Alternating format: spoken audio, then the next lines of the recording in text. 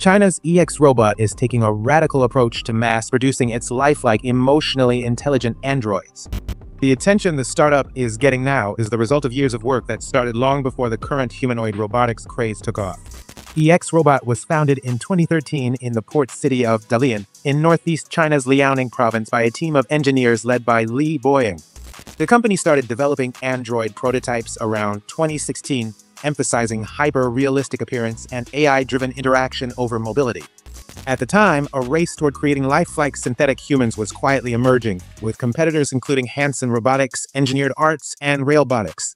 For the most part, however, humanoid robotics was confined to R&D projects within institutions like Honda, Boston Dynamics, and Toyota. EX Robot focused on upper body motion to replicate human facial expressions and arm movements. The startup set an early strategic goal to apply its robots in the service industry, envisioning them as receptionists, guides, entertainers, and caregivers.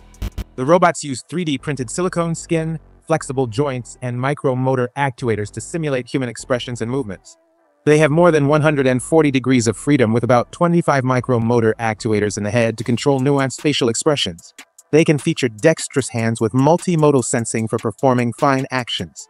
The androids can recognize human emotions and intent and maintain eye contact. The half-body service robot with interactive AI is priced around $110,000 and is tailored for roles like corporate greeters and museum guides. Higher-end bespoke models are priced starting at around $210,000. Recreating famous figures has proven effective as a marketing strategy to draw public interest and reduce the novelty barrier. EX Robot says its lifelike creations are used in science and tech museums across China. The company opened its own museum in Dalian in 2021.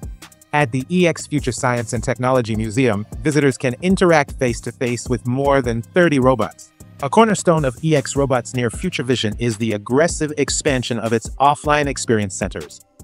By late 2024, EX Robot had already opened two facilities in Dalian and Shenyang and was in advanced talks with more than 20 other cities for new sites.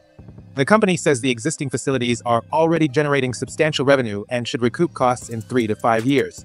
Technologically, EX Robot is working to make its androids more human-like and functional. Mobility is also likely to become more of a priority. In the meantime, the company is apparently expanding its scope to the animal kingdom, as shown in this recent Instagram reel it shared of a hyper-realistic horse.